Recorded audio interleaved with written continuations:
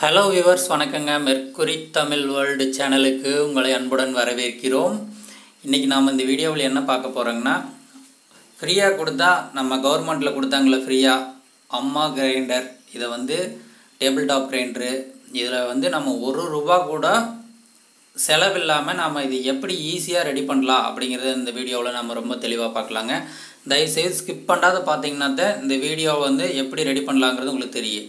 இப்போ பார்த்தீங்கன்னா இந்த அண்டாவில் அண்டா வைக்கிற பாருங்க இந்த வீல் பே செட்டு வந்து அப்படியே வந்து கட்டாயி ஓடிடுச்சு. பார்த்தீங்கன்னா பெட்டோட கையில் இருக்குது பாருங்க.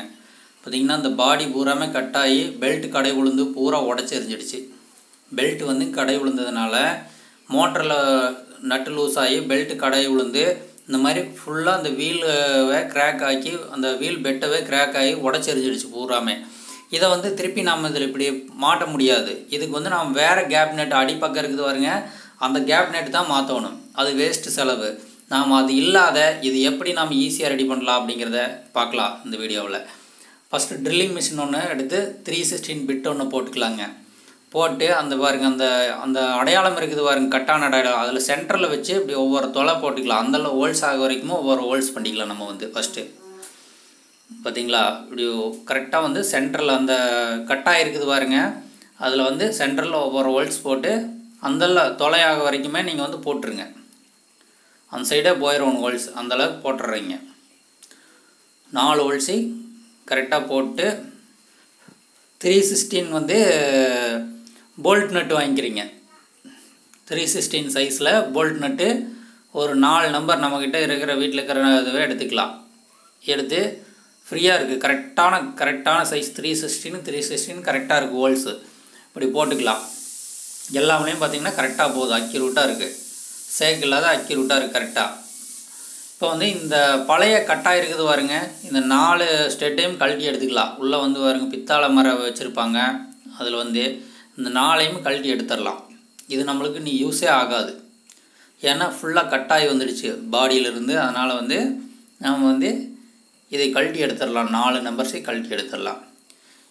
இந்த மாதிரி யூஸ்ஃபுல்லான வீடியோக்களுக்கு நம்ம சேனலை சப்ஸ்கிரைப் பண்ணலைன்னா சப்ஸ்கிரைப் பண்ணுங்கள் பெல் ஐக்கானை கிளிக் பண்ணுங்கள் லைக் பண்ணுங்கள் கமெண்ட் பண்ணுங்கள் ஷேர் பண்ணுங்கள் இப்போ நாளையும் வந்து நம்ம ஹோல்ஸ் பண்ணியாச்சுங்க. இப்போ அந்த கழட்டி விட்டாச்சு. நாளையும் ஹோல்ஸ் பண்ணி கழட்டி கழட்டி எடுத்துகிட்டு திருப்பி பாருங்கள் புது த்ரீ சிக்ஸ்டீன் போல்ட் நட்டு ஒரு நாலு நட்டு எடுத்துகிட்டு போல்ட் நட்டு எடுத்து ஃபஸ்ட்டு போல்ட்டை உள்ளே அப்படி போட்டுக்கலாம். நாளையுமே.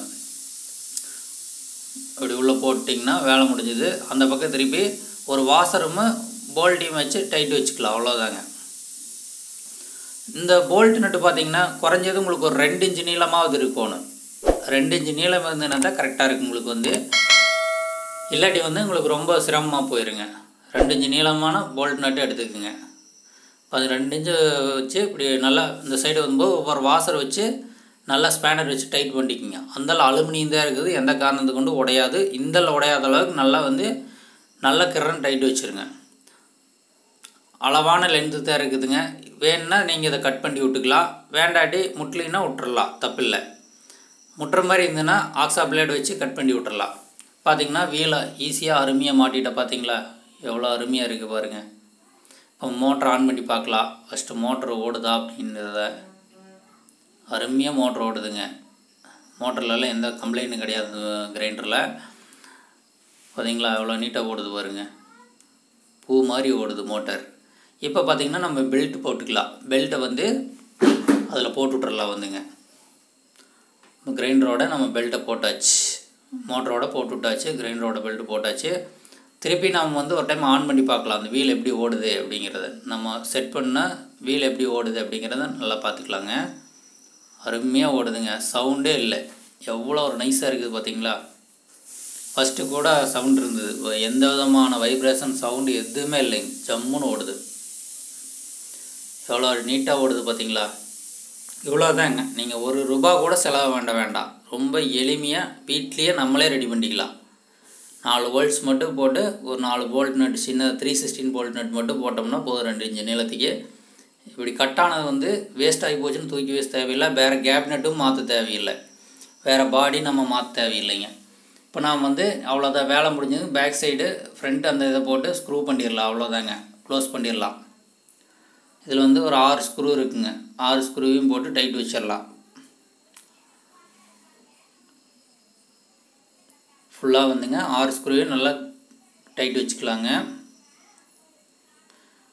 பாருங்கள் இதில் வந்து நீங்கள் ஸ்க்ரூ வந்து லூஸ் விட்டிங்கனாலும் ஒரு விதமான சவுண்டு கேட்கு அதாவது கேப் நெட்டில் வந்து ஒவ்வொரு ஸ்க்ரூவும் நம்ம கரெக்டாக டைட் வைக்கணும் கிரைண்டரை பொறுத்த வரைக்கும் கிரைண்டர் மிக்சி பொறுத்த வரைக்கும்.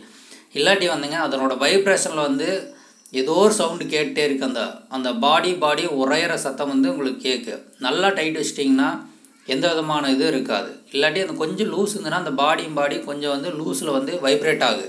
அந்த சவுண்டு கேட்டே இருக்குது அதனால் நல்லா டைட் வச்சுக்கோங்க முடிஞ்ச வரைக்கும்.